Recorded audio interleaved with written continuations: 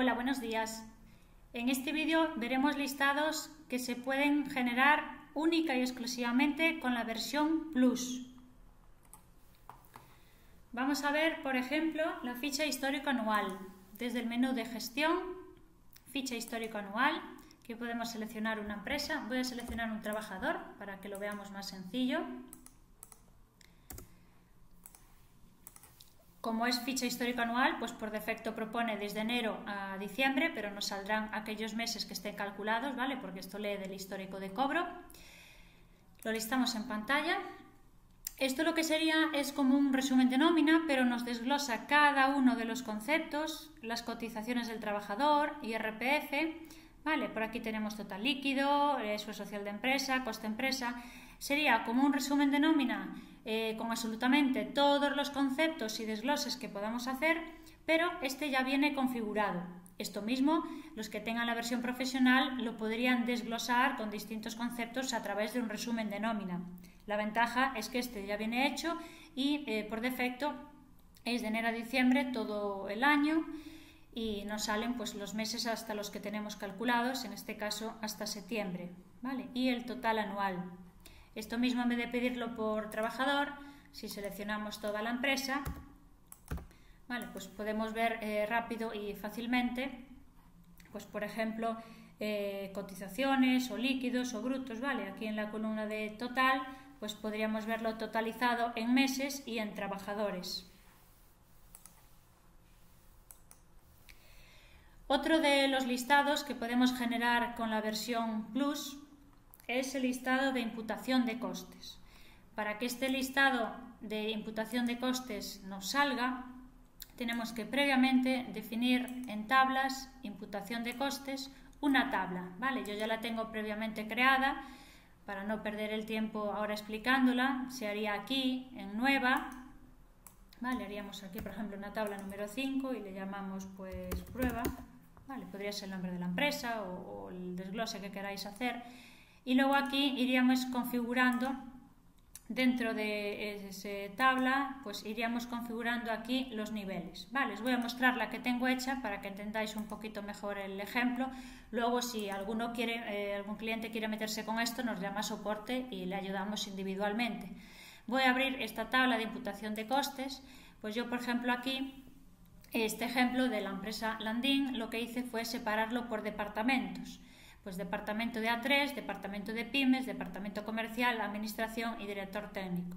Dentro del departamento de A3 lo he separado por distintos programas, aunque hay más. Dentro del departamento de pymes también por alguno de los programas a los que dan soporte. ¿Esto para qué me sirve? Bueno, pues que luego en la ficha de cada trabajador yo puedo imputar de qué programa damos soporte. Por ejemplo, ¿vale? A qué departamento pertenecemos y dentro del departamento a qué programas damos soporte. Puede ser a uno o a varios. Vale, esto extrapolado a una fábrica, pues también puede ser por secciones o por departamentos o para una asesoría o hay eh, muchas opciones para poder utilizar esto. Entonces, lo primero es crearse aquí la tabla en tablas, imputación de costes.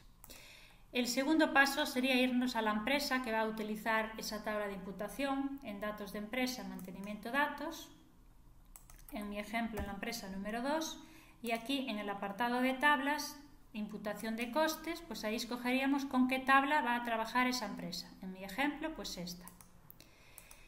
Y eso nos da la opción que al tenerlo definido en la empresa, entremos a la ficha del trabajador que entremos, que pertenezca a esa empresa, en la pantalla ampliación nos aparecería así, ¿vale? Entonces al pinchar en este cuadradito de modificación podemos desplegar esto y aquí veríamos la tabla de imputación que previamente hemos creado y aquí indicamos pues este trabajador a qué departamento pertenece. Pues por ejemplo eh, en el departamento de A3 y da soporte del programa A3 nómina, por ejemplo. Este dato tiene que estar informado en la ficha del trabajador en el momento en que calculemos la nómina.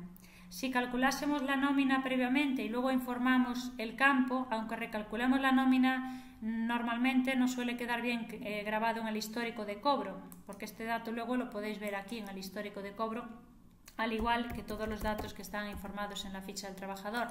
Aquí en la pantalla de imputación se puede ver, ¿vale? Yo aunque lo acabo de eliminar y volverlo a informar, ya tenía eh, la nómina calculada previamente, ¿vale?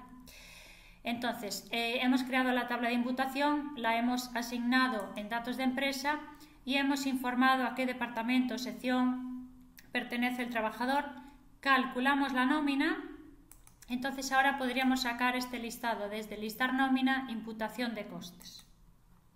Ponemos la empresa, ponemos el mes y ahora aquí tenemos este abanico de desglosar por código de imputación. Si yo le pido a nivel 1, pues me diría a qué departamento pertenece. Pues en mi ejemplo, si pertenece a 3 o a pymes o a comercial o administración o director técnico. Vale, vamos a hacer el ejemplo a nivel 1. Entonces me saca un listado de costes, pero por departamento. Por ejemplo, departamento de A3 pertenecen todas estas personas, este también, el total por el departamento. Y ahora me desglosa departamento de pymes estas personas y el total de pymes, ¿vale? Así sucesivamente. Pero si yo esto se lo pido a nivel 2, por ejemplo, dentro de la tabla de A3 sería de qué programa, o dentro del de pymes de qué programa, aquí me dice hay personas que en general es A3, pero hay otros trabajadores que en concreto dan soporte solo a A3 nómina o parte a A3 nómina y en otro porcentaje parte a otro programa, A3 eco, A3 OC, vale, este dato es el que hemos informado en la ficha del trabajador. Del, eh, del departamento de pymes, pues al programa de Hotelán, al programa de Menulán, vale, está desglosado a un nivel 2, es decir, nos dice el departamento y dentro del departamento a qué programa. Vale, es un ejemplo un poco gráfico para que eh, veáis en qué tipo de empresas o incluso una asesoría podéis eh, hacerlo por departamentos y dentro del departamento pues por el tipo de, trabajo o por secciones, depende cada despacho cómo lo tenga organizado.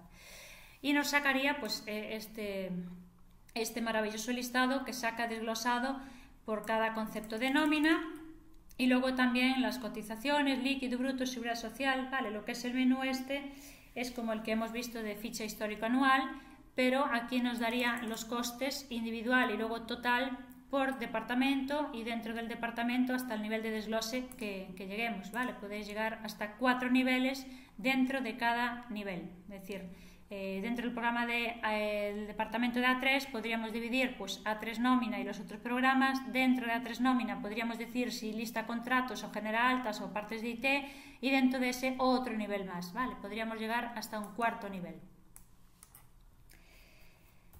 También en la versión Plus tenemos las encuestas laborales, aquí en el menú principal.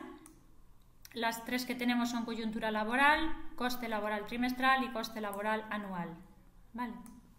Da igual por la que entremos, luego tenemos aquí la opción de nueva. Si queremos eh, que el programa nos cubra automáticamente la encuesta o si queremos complementarla nosotros manualmente, ¿vale? Para eso no nos haría falta esta opción. Aquí escogemos la empresa y aquí, aunque hayamos entrado por cualquiera de las tres, podemos cambiarnos, ¿vale? Coyuntura, la anual o la trimestral. Vamos a hacer esta, por ejemplo.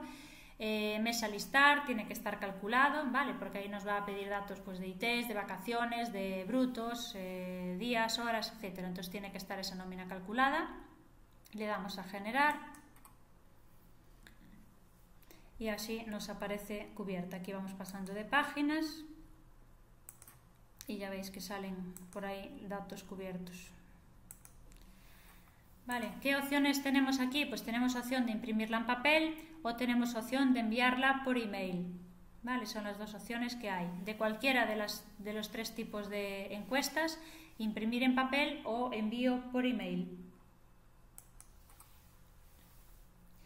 Otro listado que tenemos con la versión Plus es en gestión, listado, control de embargos.